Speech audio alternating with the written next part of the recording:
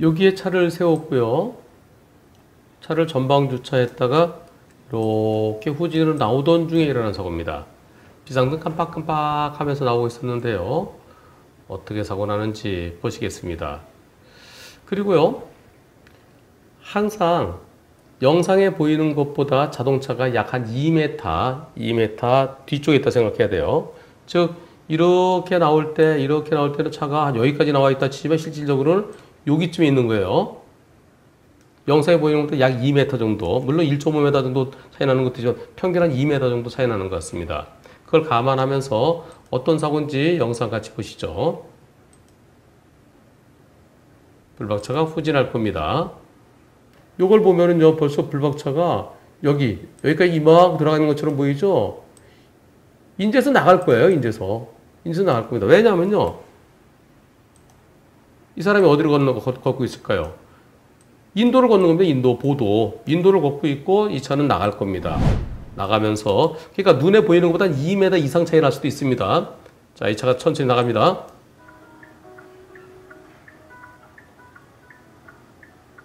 인제 내려섰죠, 인제, 인제, 인제. 자, 인도에서 언제 내려서나 보세요. 지금쯤 내려서는 것 같죠? 자전거가 이렇게 붙였는데요. 이번 사고에 대해서 불박차 운전자는 뭐라고 얘기하냐면요. 저 운전자가 제가 자전거 진로를 방해했기 때문에 무조건 제 과실이 크다고 하는데 이해가 안 되는 건 자전거도 분명히 제 차가 비상등 켜고 차로 들어서는 걸 봤겠는데 그걸 붙이신 것은 전방주시 태만으로 보이는데 여기에 대한 과실을 알고 싶습니다. 라고 하시네요. 음, 보험사에서 90대 10을 주장한답니다. 어떻습니까?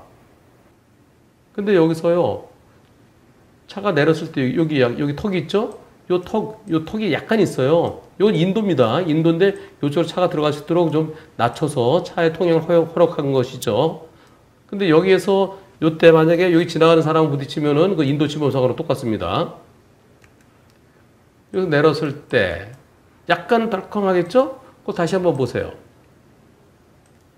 그 상황. 약간의 턱이 있으니까 약간의 느낌, 단차가 있죠. 단차 살짝. 한 2cm 될까요? 이 사람은 인도로 걸어가고 있겠죠.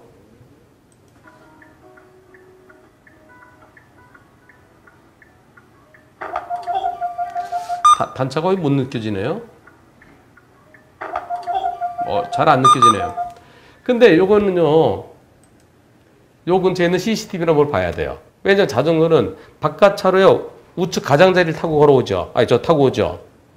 그러는데 인도에 있던 차가 툭 내려오면은, 글쎄요, 인도에서 오니까 비상등 켜고 있는 차가 천천히 움직이면 나를 보고 있겠지. 그리고 자전거 타고 가면서 인도에서 나오는 차 거기까지 신경이 쓰일까요? 가로수가 있는지 없는지도 잘 모르겠고요. 요거는 정확한 것은 CCTV, 양쪽에 다 보이는 CCTV를 봐야 됩니다. 어쩌면 100대 0의 가능성도 있습니다. 왜냐하면 여기서 후진하고 있는데 여기서 후진하는데요. 여기쯤에 여기쯤에 뭐가 있을 수도 있어요. 여기쯤에 어떤 뭐 쓰레기통 같은 것도 있을 수 있고 또 가로수가 여기 있을 수도 있고 그것에 의해서 안 보였는데 차가 쑥 나오면은 지금 이것만 갖고서는 몇이라 판단하기는 어렵습니다.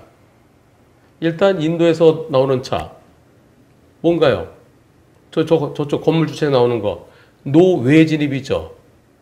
길 밖에서 나올 때는 일단 서서 안전을 확인하고 나와야 돼요. 앞으로 나왔으면 봤겠죠. 근데 후진 나올 때는 비상등 켜고 오면서 다른 차는 날 봐주겠지. 그렇게 생각할 게 아니라 누군가한테 좀 봐달라고 그래야 돼요, 여기는요. 저 뒤쪽으로 이렇게 잔망경이 있어갖고 꼬부라진 걸 보고, 어, 어, 어, 어, 보면서 갈 수 있으면 좋은데요. 그게 없으면은 누군가 보고, 누군가 보고 봐달라고 해야 되고요.